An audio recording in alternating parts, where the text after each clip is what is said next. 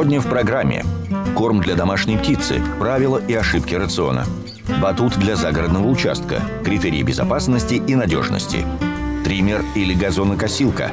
Проведем тест на выносливость. Грунт для хвойных. В чем специфика?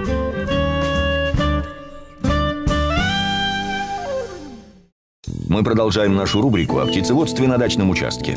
И тема нашего сегодняшнего выпуска – правильный рацион питания домашней птицы. Поможет нам разобраться в теме представитель компании «Мегамикс». Основной рацион птиц можно разделить на три фазы. Это старт, рост и финиш. В несушке еще есть отдельное направление, как фаза 1 и фаза 2. В первые дни жизни цыпленка важно дать правильный старт и развитие. Отсюда и название рациона. Комбикорм должен быть сбалансирован по протеину, по кальцию, по аминокислотам и по необходимым витаминно-минеральным комплексам. На фазе рост, это чаще всего от 14 до 29-28 дня, наблюдаем плавное развитие птицы. Тут должен быть сформирован уже костяк и набирается мышечная масса на созревший костяк. На финишном этапе нам главное не дать тушке зажиреть. Поэтому на финише немного уменьшается количество протеина, и поэтому рацион балансируется по углеводам и жирам. Рацион несушки и бройлера на первых двух этапах старт и рост довольно похож. Единственное, что там немного ниже протеин, так как у нас нет цели, чтобы несушка набрала большую массу. В период яйцекладки несушке необходим кальций, так как этот главный макроэлемент, позволяющий вырабатывать непосредственно скорлупу яйца. Следовательно, переходя после роста, мы в нашем комбикорме больше балансируем по кальцию и остальным макроэлементам, влияющих на качество и вкусовые качества яйца. Куры, которые завершают свою карьеру несушек, можно обкормить немного попроще, так как уже мы не получим того яйца, того качества и того количества, которое мы получаем от молодок.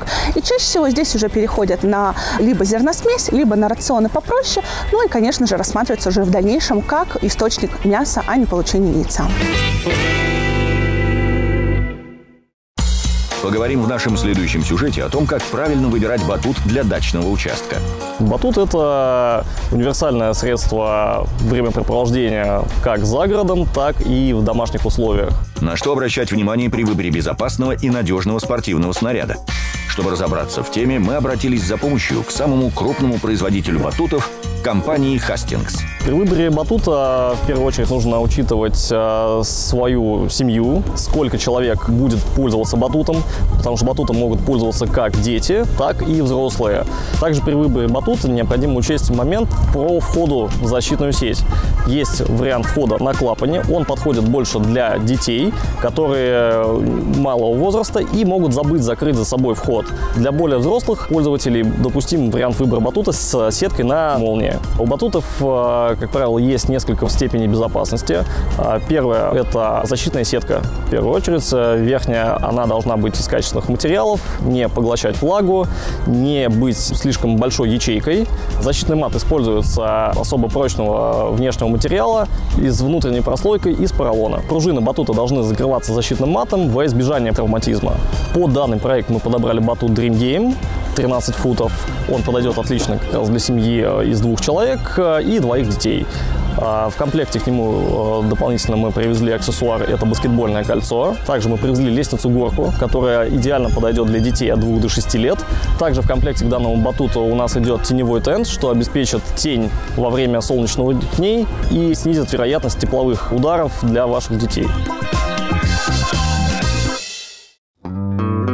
Аккуратная зеленая лужайка – украшение каждого дачного участка. Обсудим далее, какой грунт для газона является идеальным для роста и быстрого развития травы. Грунт для газона обладает фракцией 0,20 мм. Он э, имеет среднюю плотность и средний кислый pH. pH – это показатель кислотности грунта. 80% э, этого э, грунта – это торф. 10% в составе – это песок для улучшения структурирования грунта, для лучшего проникновения воздуха к корням газона. 10% в составе этого грунта – это биогумус. Биогумус – это природное удобрение жизнедеятельности червей, которое способствует активнейшему росту корневой системы. Это все способствует хорошему произрастанию семян в этом грунте, образует хорошую дернину. Э, газонную, и свойства декоративные травы сохраняются очень долго. Покажем на примере грунта Терравита, как правильно высаживать семена газона в грунт. Для качественного и долголетнего служения газона нужна основа – это грунт. Мы высеиваем семена газонных трав в грунт небольшой толщины на подготовленный участок. Участок а, должен быть э, ровным, потому что застой воды приведет к повреждению грунта и потере декоративных свойств. И э, сверху слой небольшой, где-то от полусантиметра до сантиметра мы снова засыпаем грунтом для газона. И обязательно полив. Регулярный и тщательный полив способствует прорастанию семян газона. Красивый газон требует правильного ухода. Для этих задач необходимы правильные и удобные инструменты. Газон – это, по сути своей, ровный плодородный участок земли, засеянный какой-то композицией пастбищных трав. Подбор трав, уход, своевременное кошение, полив, подкормка, аэрация. Вот и все, и будет газон. Мы на территории музея-усадьбы Архангельская. Один из красивейших парков страны. Он славится прежде всего своими роскошными газонами. А это Александр Нилов, главный лесничий усадьбы.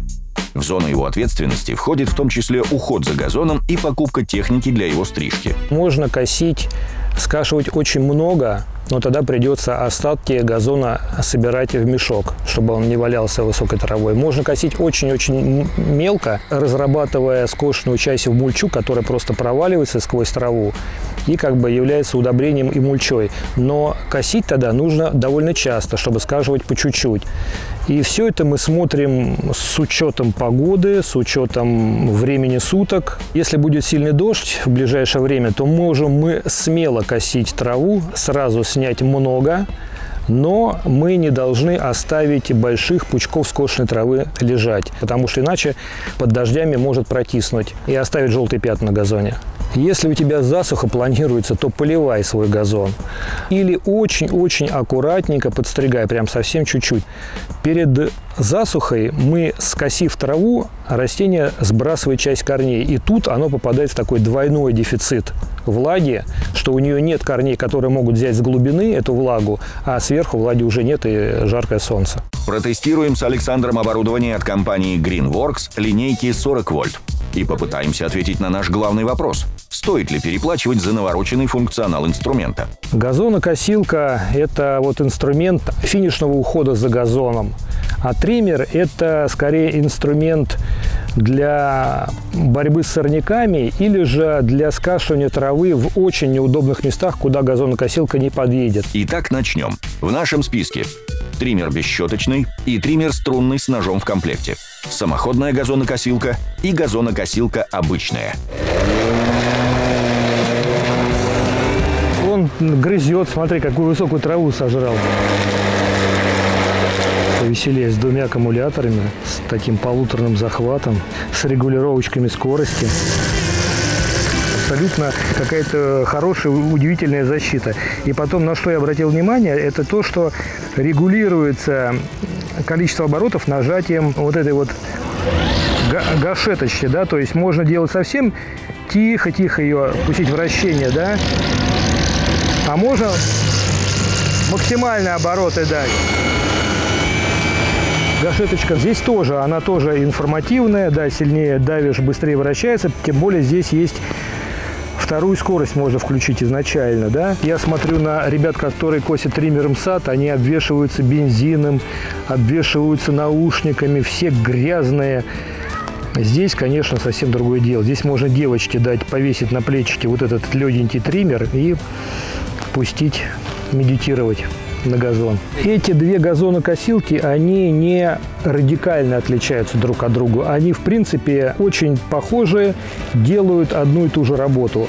Одна газонокосилка, которая помощнее с двумя аккумуляторами из дека и 46, делает ее чуточку быстрее, да. Вот это делает эту работу чуточку медленнее.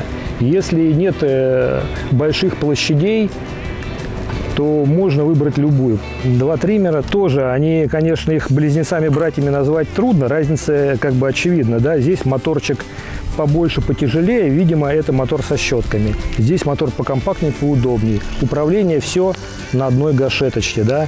Здесь есть кнопочка, здесь гашетки. Хват на этом триммере, как у профессионального. Здесь вот такая ручечка, ну, тоже все вполне удобно и эргономично.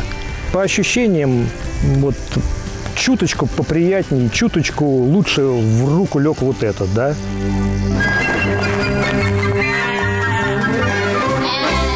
Разведение птиц в домашних условиях – один из самых популярных видов фермерства.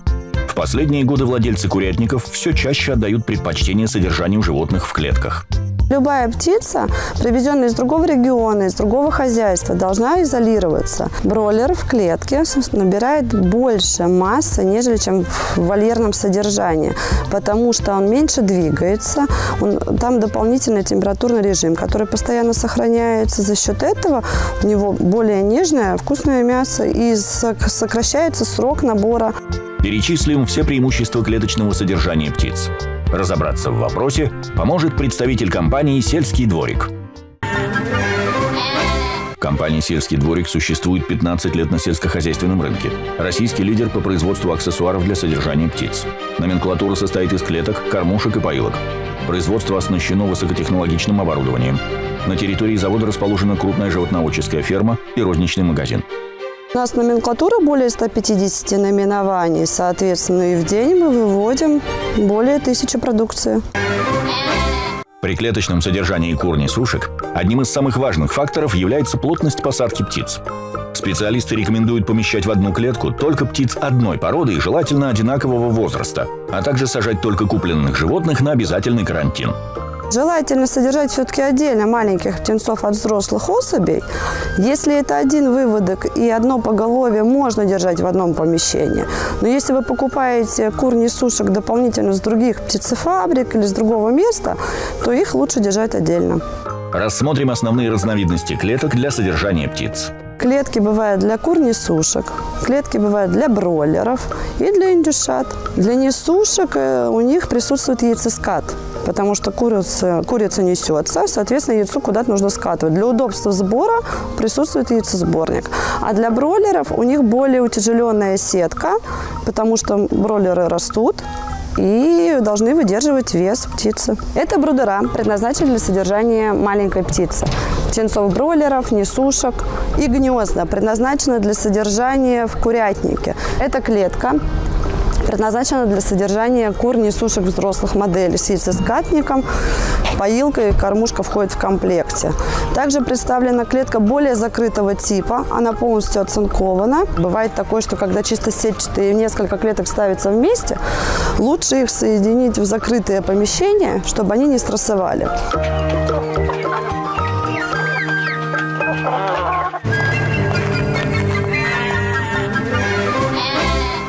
Пересадка взрослого дерева – вопрос рискованный. При малейшей ошибке растение может не выжить и погибнуть. Крупномерные деревья – это деревья, которые выше трех метров. У них уже достаточно сформирована корневая система.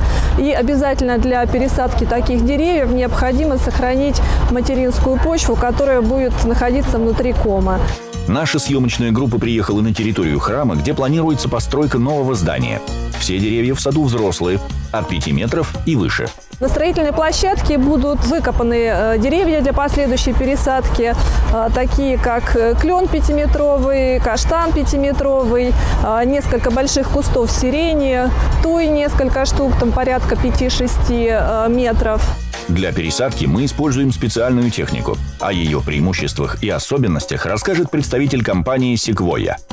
Будем выполнять работы с помощью пересадчика деревьев, который э, помогает э, быстро и оперативно выполнить работы. Выкопка дерева занимает порядка 3-4 минут.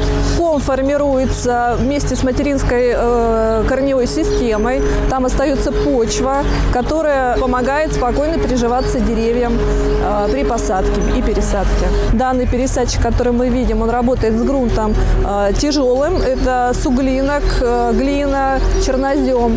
У нас есть э, пересадчик, который может работать с песчаной почвой.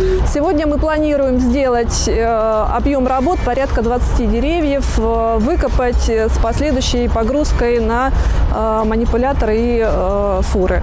Строительный мусор в грунте является противопоказанием при выкопке деревьев. Это осложняет выполнение работ.